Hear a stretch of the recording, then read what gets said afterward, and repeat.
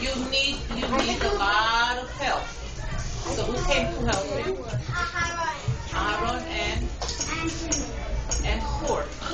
Okay.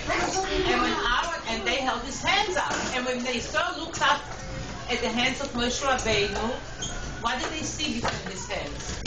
What did they see between his hands? What? What? Light. What what else did they see between his hands? Mendel. Right. They want more. So now we know that from from